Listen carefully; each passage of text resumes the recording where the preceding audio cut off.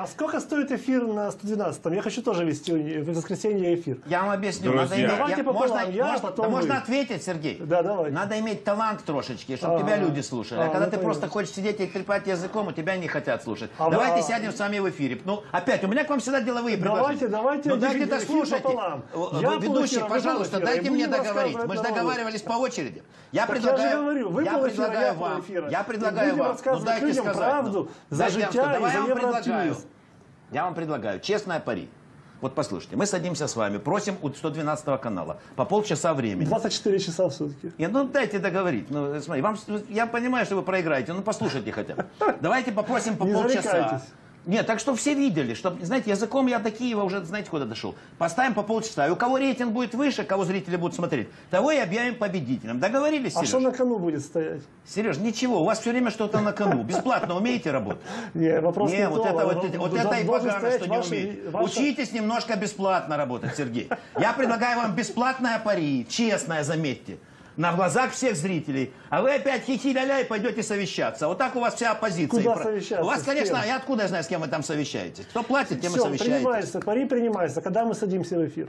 Сейчас Нет. выйдем после передачи, пойдем к руководству 112, будем просить на коленях. У них два по полчаса. Согласен. Все договорились. За все. Отлично. Да, да, да. Ну хорошо, мы проследим. Все, возьмем камеры, пойдем. Наш же Нет, на один плюс один договоримся. Знаете, вот э, у меня такое впечатление, что у власти есть такая задача вогнать нас в такой всеукраинский депрессняк, что мы каждое утро просыпались с очередной плохой новостью. Я вам скажу, э, что я вчера прочитал очень интересную вещь. Давайте сами ее оценим. На сайте Цензор стояла такая большая информация следующего содержания. Объясним вам, это еще вчера было, как началась Авдеевка. Наши бойцы, доблестно обороняя там, свои позиции от наступающих оккупантов, захватили случайно, в скобочках, часть территории, которая была с той стороны. И такой радостные смеш- смеш- сме- смешочки, да.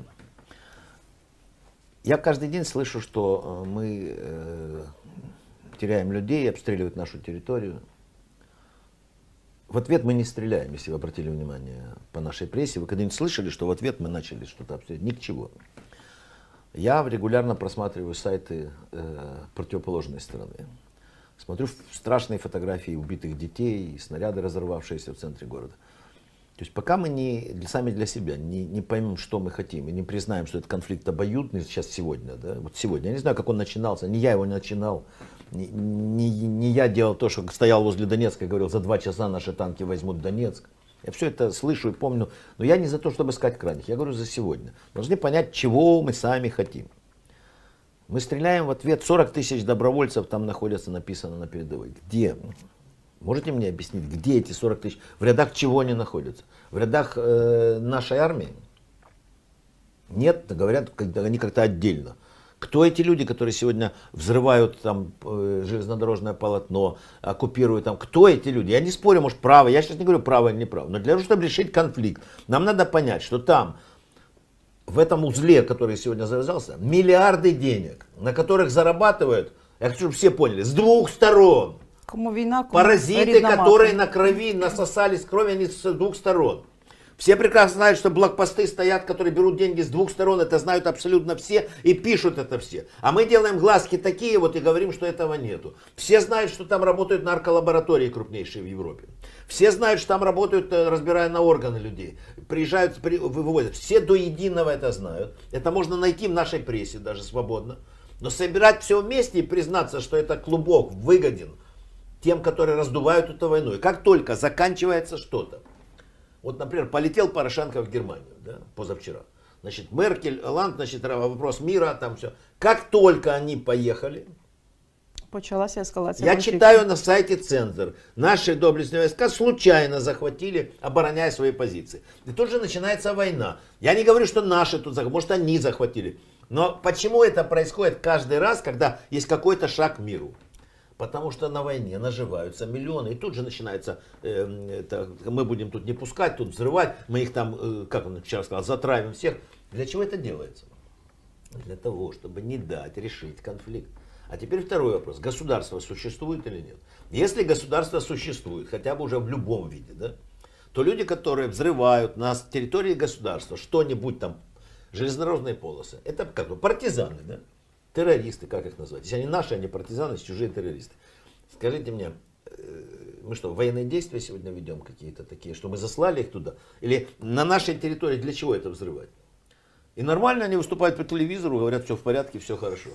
Мы в сумасшедшем доме находимся, в котором каждый не знает, что делает. Власть, раскрутив маховик ненависти, не может остановить войну. Потому что она не знает, как это делать, а во-вторых, они наживаются на ней. С другой стороны, сидят те, которые тоже наживаются на войне.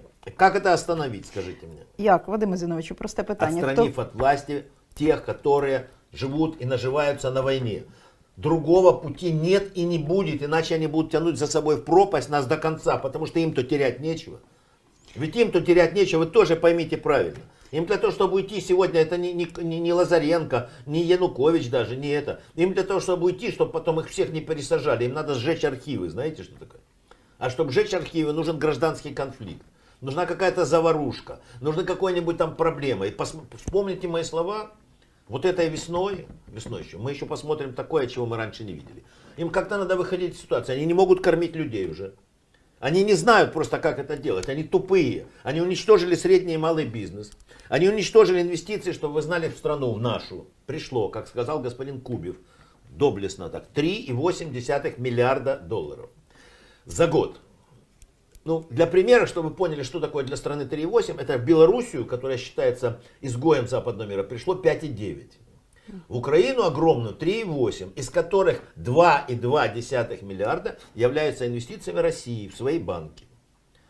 Правильно поняли? Самый большой инвестор Украины за 17 за прошедший 16 год Российская Федерация. Вот до чего дебилы довели страну. Оставшиеся 1,3 это вообще, это Лесото больше получает. Как такое могло быть? Скажите, как такое могло произойти? Они поссорились со всем миром. В Америке они придумали себе Клинтон, ругали Трампа, тут выступали против него, открывали уголовные дела. Трамп теперь президент Соединенных Штатов Америки, основного нашего э, геополитического партнера. Доцаревалы. Дальше. Это э, Европейский парламент. Главой парламента стал итальянец, которому закрыт въезд в Украину, и за- закры- по- против него возбуждено уголовное дело, потому что он высказался по Крыму не так. Здравствуйте теперь. Значит, парламент тоже наши враги. Израиль, который сказал, что мы поддерживаем, проголосовал за Крым и дал 20 тысяч рабочих мест. Они взяли, проголосовали в ООН против Израиля, теперь Израиль вообще не хочет с ними разговаривать. Польша самый сильный наш партнер. Самый европейский партнер. Выступление Качинского позавчера. Он сказал следующие слова. Отношения Польши и Украины зависят от одного. Если будет продолжаться героизация УПА, которые уничтожали поляков, у нас отношений не будет. Оп, опять приехали. Ну, ще можна додати ситуація з мером Перемишля і. і Потому что уже, уже сняли ему. Уже с- Так, уже, але ж- Ну, да. Я еще там добавлю Посуд Францию. залишився. Простые страны я вам Так. добавлю. Франция, где два кандидата, Фион и Лепен, не просто настроены антикру, они закрыли въезд и Лепен, да, а и э, Мари Териани, вот это второй, ко- который за Фионом идет, ему тоже. При этом, что сам Фион сказал, что санкции против России это вообще э, нонсенс. да. То есть всех мы потеряли все. С кем, скажите, мы будем дружить. Сейчас Климкин ездил в страну, слава богу, дорогая Украина, что мы сами не останемся. В Мняму он ездил. В Мняму он сказал, Мняма с нами будет дружить. Вот будет Украина и Мняма. Ну, ну подурели они, что люди. Мы смотрим, мы великая, сильная страна, сильный народ. И смотрим, как уничтожается все вообще. Внешняя политика, внутренняя, экономика, гривна. Ну все уничтожается. Средний малый бизнес полностью уничтожен. И что, мы дальше должны на это смотреть? И что, радоваться? Вместе будем гимн петь? Ще не вмерла Украина. Да вже вмерла от вас. Понимаете? Они пели песню полтора года, они в парламенте, я слушал только гимны. В результате этих гимнов у них стали такие рожи, чудесные костюмчики. Да, и все, обокрали страну, у них у всех порядок.